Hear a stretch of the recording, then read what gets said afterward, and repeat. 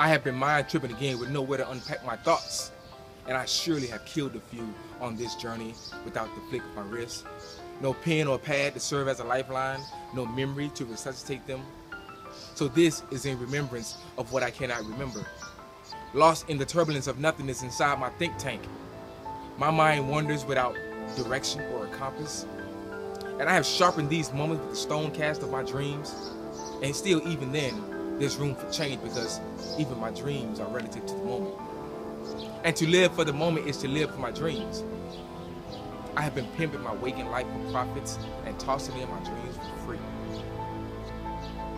As I dance to the rhythm of another man's heartbeat, offbeat because I would never understand the rate that his heart beats. One day, someday, today, I would break these beats and shake this so-called living free of these delusions. This is a thinkless job. Don't think, it, just do.